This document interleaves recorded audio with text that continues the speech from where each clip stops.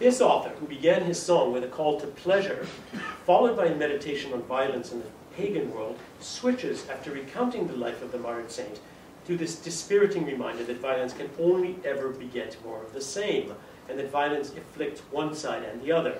His saint is one who imitates her Lord, thinking him unique, but she is matched by pagans who do exactly the same thing, all craving the blessing of a sovereign. The sovereigns, meanwhile, and in both cases, pagan and Christian, are so anxious about their status that they rely on violence to put an end to violence. Faith's sacrifice is supposed to ensure the well-being of her land and its people, but it is ultimately unable to undo the links between mimetic desire and violence. Her story is instead a reminder of its ravages. So why is it that this early Occitan text takes the trouble to reveal the mechanism of victimization only to deny its power to undo that violence? Return to the Girard citation that I quoted at the start of this paper, great writers apprehend intuitively and concretely through the medium of their art the system in which they were first imprisoned.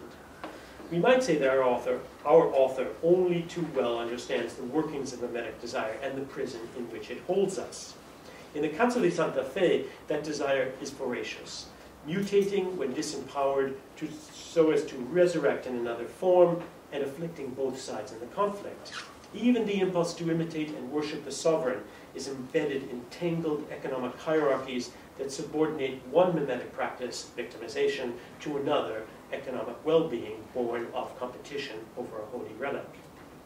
La Cançó di Santa Fe may remind us, may provide us with a rare 11th century reading of this operation, but its author never really claims that revelation alone can lead to reformation. On the contrary, he suggests that the violence that gives rise to and defends the inviolability of the sacred is no different from the violence that gives rise to the political. Rather than try to separate out these two domains as incommensurable, as we are often wont to do, we should instead listen more closely to the text itself.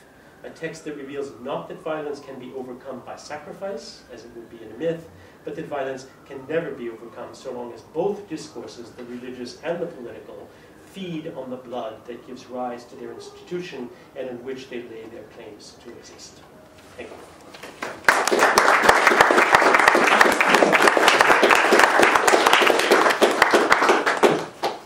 to say something what resonates with, you know, what are my, the things I, I know. Like, it, the, the, way in which also like something that we have thought also with, with, with Paolo and other is how Imitatio Christi in, in, in Dante, in Purgatorio, plays a major role like for the self. So like, so, like, so what, what I, I would have been looking at is not the sort of like social context, but what the act of imitation plays for faith, in, in this case for faith of self, and the, I mean, at least what, what we think we, one could find in, in the sort of like process uh, that Dante describes in Purgatory would be that Imitatio Christi is precisely a way through external mediation. You know, it's a sort of like positive way to use models to change and to break that pattern. Mm. You know? So I wonder, you know, like whether in, in the text there is also like a or maybe, I mean, I can see why there should be, but I wonder yeah. whether there is also like a, a sort of uh, meditation on what takes place within faith herself. There isn't, but you raise an interesting point because it, it really revolves around the, the question of whether Christ is an external or internal mediator. And in this text, we get very little about faith herself. She, she really speaks only when provoked or to do these sort of set rhetorical pieces about how she wants to die.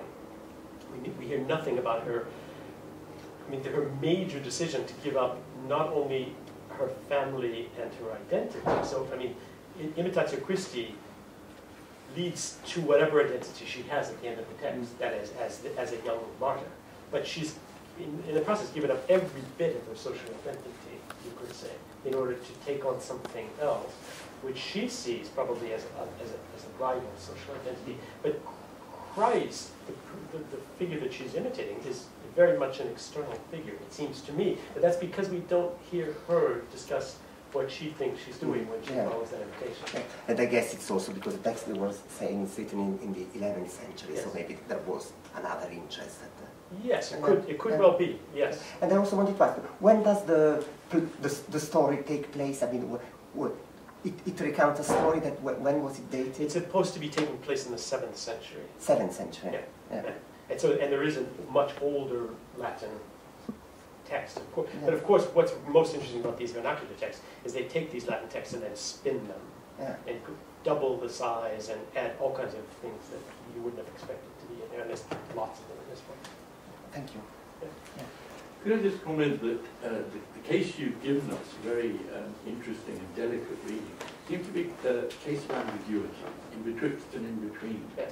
Uh, so uh, you say that uh, the saint's sacrifice doesn't undo the links between mimetic desire and violence.